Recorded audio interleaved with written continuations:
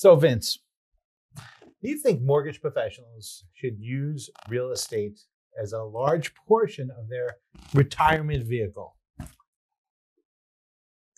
Probably.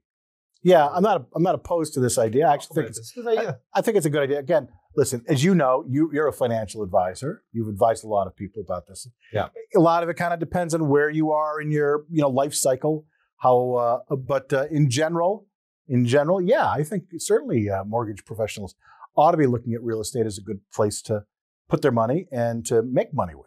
Yeah, and and, and they there's a generalization, but mortgage professionals they know good deals. Um, they look at bad deals all the time. They look at good deals. They're going through a lot of transactions. They generally speaking know the direction of the market if they're doing a decent amount of business.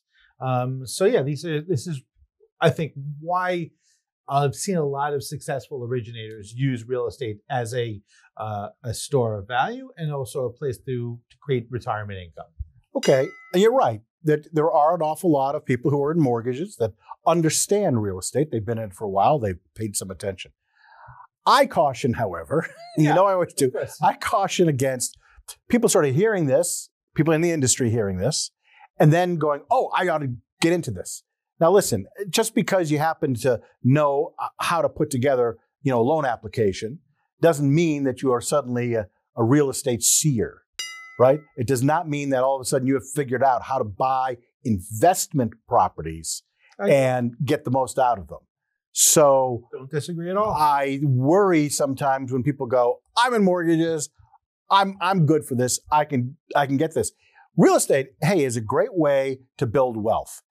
You invest poorly, you invest at the wrong time, you, you haven't done your homework, and all of a sudden it is a great path to poverty as well. Yep. Yeah. The other the other thing also, of course, in the mortgage industry, um, if your in- income is down, it could potentially mean that values might be down at that time too. Like in in, in 2008, saw a lot of uh, a lot of mortgage professionals uh, where they had a lot of their Well- assets in real estate, a lot of their wealth in real estate, and their income was down, and also Yeah. their assets were down at that time too. And that causes them a problem if they have to bolster their, their stuff. But this is actually a very good uh, point for me.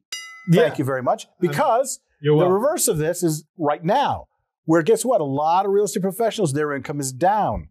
Yeah. But the market for real estate and investment properties is up. So you can't say, you know, one thing does one thing and nothing does another. Uh, I think it can be great if your income's down to suddenly say, hey, I've got rents. You know, I've got capital being acquired here.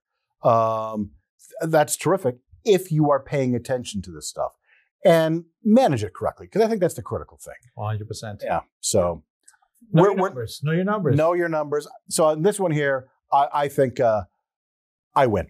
Uh, No, no, no. I, I am absolutely correct. wrong? What- I have said that, No, uh, yeah, uh, real estate is a you, good you investment. agreed with me. and it You agreed with me. I made the That's not a statement. win. That means that I win. win. You agreed with me. I'm right again as usual.